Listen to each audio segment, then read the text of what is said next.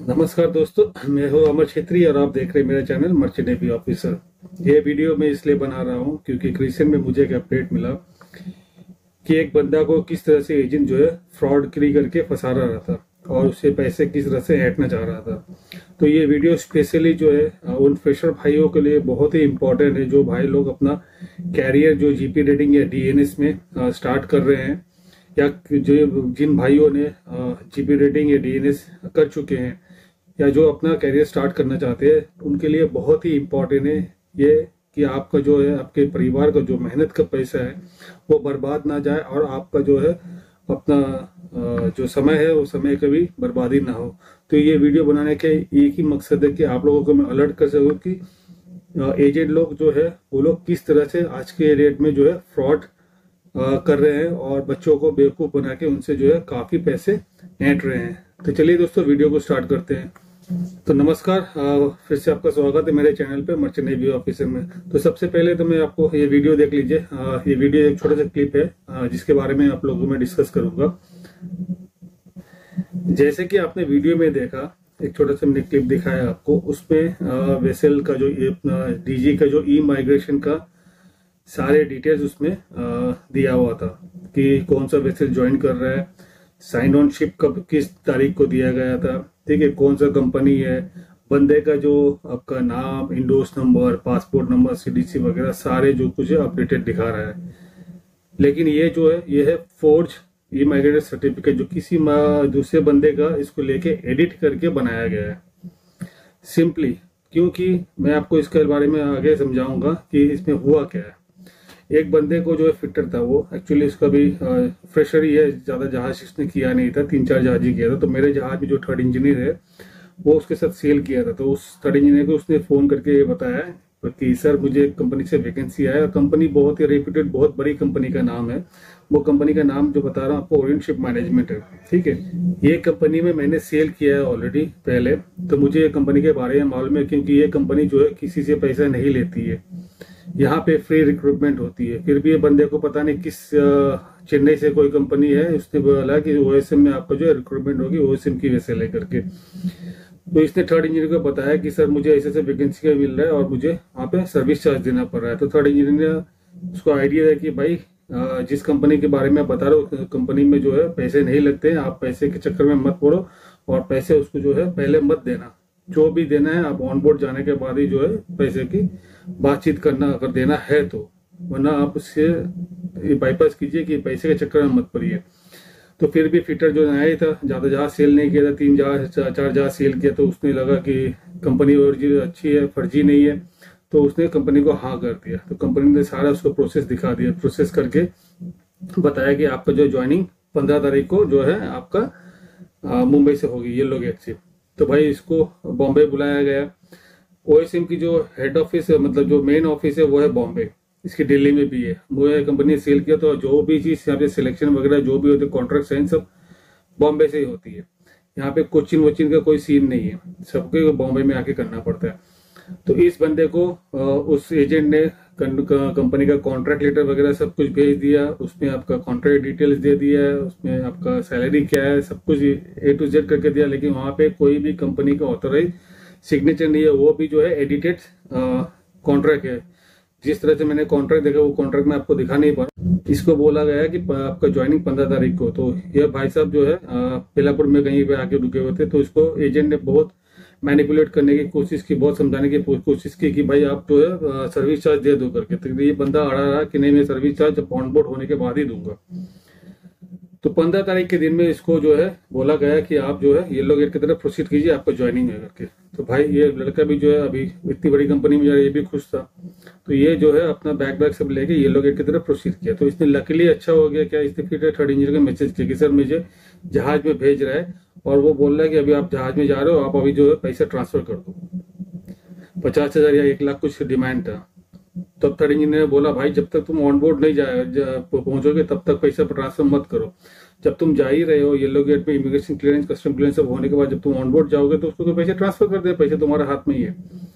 तो इसने एजेंट को बोला कि, भाई, मैं जब ऑन बोर्ड जाऊँगा तो मैं जो है, आपको पैसे ट्रांसफ़र करूँगा।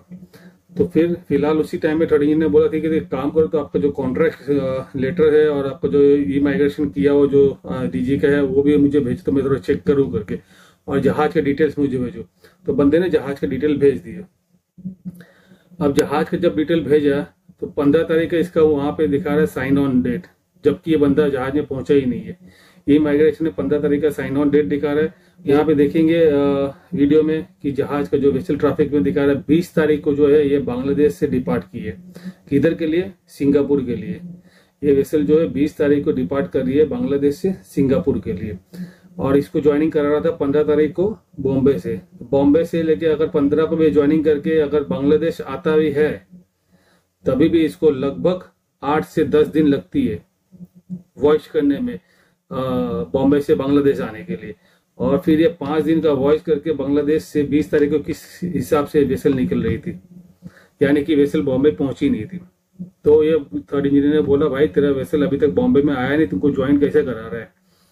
तो ये भाई साहब को थोड़ा सा अलर्टेड हुआ तो थर्ड इंजीनियर ने इसको मना किया कि मत करो।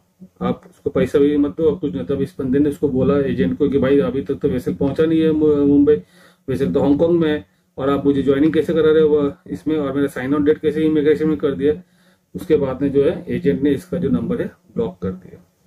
तो यानी कि मेरा कहने का मतलब यही था कि एजेंट ने इसको पूरा मैनिपुलेट किया था। इसका देखिए खर्चा पूरा अपना गाँव से बॉम्बे आने का, बॉम्बे रुकने का, फिर जब एजेंट इसको जब ठग नहीं पा रहा था तो उसको लास्ट तक में येलो गेट का इसको ये करके इसको ज्वाइनिंग का पूरा कंफर्मेशन का इसको मतलब आश्वासन दे के कि आप ज्वाइन कर रहे हो उसी बीच में ठगने की कोशिश। लेकिन लकीली किया था ये थर्ड इंजीनियर के साथ में कॉन्टेक्ट में था और थर्ड इंजीनियर भी नेटवर्क में हम लोग थे इसके लिए ये बंदे का जो है पैसा बच गया और ये फ्रॉडगिरी से बच गया। तो भाई लोग मैं आप लोग से यही बोलता हूँ कि ये फ्रॉडलेंट अभी बहुत ज़्यादा बढ़ गई है क्योंकि ये कोरोना के महामारी से बहुत बंदे बेरोजगार हो गए और ये जो शिपिंग इंडस्ट्री की अभी जो क्रेज बढ़ रही है, बहुत सारे यूट्यूब में शिपिंग को लेके जो वीडियोस बन रही है, काफ़ी सारे वीडियोस की शिपिंग में जाके आप लाखों रुपया, दो लाख रुपया, तीन लाख रुपया महीना कमा सकते हो, दसवीं, बारहवीं पास से ये खाली। तो इसमें से बच्चे लोग जो है यूट्यूब में बहुत सारे वीडियो देख के एनकरेज हो रहे मर्चेंट नेवी को ज्वाइन करने के लिए। तो ये बहुत अच्छी बात है आप लोग एनकरेज हो रहे हैं। लेकिन मैं आप लोग से यही रिक्वेस्ट करता हूँ कि आप लोग जो है शिपिंग का लाइफस्टाइल पैसा कमाने का मत देखिए। इसमें एंट्री के लिए क्या स्ट्रगलिंग है कितनी परेशानी होती है इसमें से क्या क्या प्रॉब्लम है फेस करनी पड़ती है उसके बारे में पहले जानकारी लीजिए। अभी आप देखिएगा फेसबुक सोशल मीडिया बहुत ज़्यादा एडवांस हो गई है। तो अभी ये मेन प्लेटफॉर्म बन गई है एजेंटों का आ, मतलब आ, जो भी नए बच्चे को उनको फंसाने का। सोशल मीडिया में वैकेंसियाँ बहुत डाल रहे हैं। जीपी रेटिंग का कीजिए, आपको ऑयलर का वैकेंसी है वाइपर का वैकेंसी है। देखिए, अभी भी मार्केट में जो है ना जॉब बहुत कम है। जॉब की स्ट्रगलिंग है। ऐसा नहीं है। और कंपनियों में अभी भी वेटिंग पीरियड चल रही है। तो भाई ये एजेंट लोग आपको किस इतने जो वैकेंसी डालते हैं सोशल मीडिया में, कहाँ से डाल रहे कहाँ से वैकेंसी आ रही है? जबकि हालाँकि हकीकत ये है कि कंपनियों से वैकेंसी है, लेकिन इस हिसाब से वैकेंसी नहीं है कि इन लोगों को जिस हिसाब से डालते हैं। तो नॉर्मली जो अच्छी कंपनी जो कंपनियाँ से जिसमें क्रूज प्रॉपरली ज्वाइन करते हैं प्रॉपरली इससे करते हैं, वो लोग कभी भी ऐसा इस टाइप में एडवर्टाइजमेंट सोशल मीडिया में नहीं डालते हैं। ठीक है, और जो अच्छे एजेंट्स वगैरह है, वो लोग भी ऐसे सोशल सोशल मीडिया में जो लोग डालते हैं तो बहुत ही मैं सबको तो नहीं बोलूँगा, लेकिन बहुत कम ऐसे एजेंट्स होंगे जो जेन्युइन है, जो आप लोगों को जॉब दे सकती है।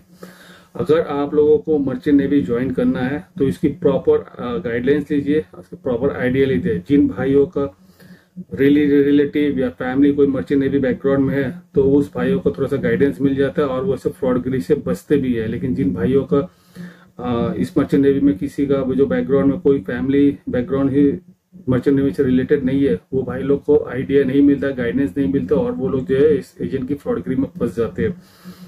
जीपी रेटिंग कीजिए प्रॉपर वे में कीजिए प्रॉपर इंस्टीट्यूट से कीजिए, अच्छे इंस्टीट्यूट से कीजिए, जैसे टी एस रहमान हो गया नूसी हो गया, उसके बाद में ग्रेट ईस्टर्न हो गया, ये सब अच्छे अच्छे इंस्टीट्यूट है। बाकी जीपी रेटिंग के बहुत सारे इंस्टीट्यूट है इंडिया में, जो डीजी एफिलेटेड है, जो डीपी डीजी अप्रूव है। वहाँ से भी आप कर सकते हैं। और नौकरी के लिए आप हार्ड वर्किंग कीजिए स्ट्रगलिंग कीजिए। एजेंट्स को अपना डॉक्यूमेंट्स पहले मत दीजिए। डॉक्यूमेंट्स देने के बाद में आपको बहुत परेशानी होगी, ये लोग ज्वाइनिंग नहीं कराएगा और बाद में डॉक्यूमेंट्स आपको वापस डॉक्यूमेंट्स वापस लेने के लिए फिर से ये लोग पैसे पैसे की जो है डिमांड्स करेंगे। तो मैं यही रिक्वेस्ट करता हूँ कि आप लोग जो है ठीक वे में जो है अपना कैरियर स्टार्ट कीजिए। प्रॉपर वे में अगर आप लोग को एलिजिबिलिटी नहीं है तो इस कैरियर को चुनने की कोशिश मत कीजिए, क्योंकि यहाँ पे एजेंट के झांसे में आप फंस जाओगे।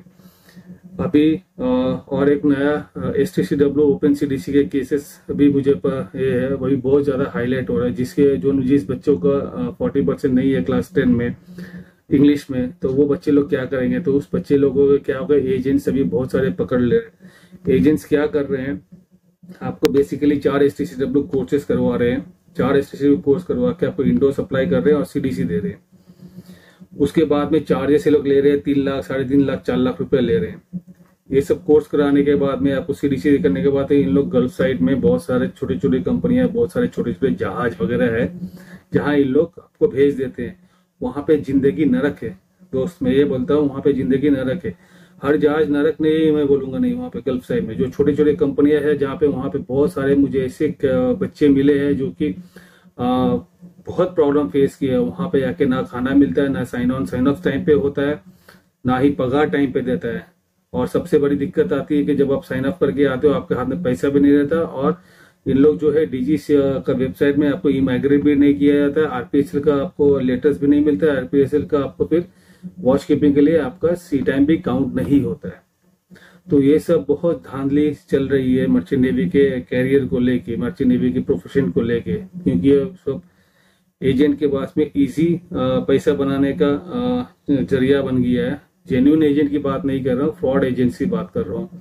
तो आप ये फाइंड आउट करना तो बहुत मुश्किल होती है कि जेन्यून एजेंट कौन है और फ्रॉड एजेंट कौन थे। तो दोस्तों, ये वीडियो मेरा बनाने का एक ही मकसद था कि आप लोगों को आपका फैमिली का जो मेहनत का पैसा है, वो बर्बाद ना हो। आपका समय जो है, वो बर्बाद ना हो। आपका कैरियर बर्बाद ना हो। तो मैं यही कोशिश करता हूँ कि मुझे जितना नॉलेज मिलता है, मैं आप लोग से शेयर करूँ, आप लोगों को सावधान करूँ कि आगे जाके आपको परेशानी ना हो। तो दोस्तों, अगर वीडियो को पसंद आया तो लाइक और सब्सक्राइब ज़रूर कीजिए और अगर कोई भी डाउट है कमेंट्स बॉक्स पे ज़रूर कमेंट कीजिए या मुझे आप इंस्टा में भी पूछ सकते हैं, मैं वहाँ पे भी आप लोगों को ज़रूर जवाब दूँगा। तो चलिए दोस्तों, तब तक सावधान रहिए और अच्छे रहिए।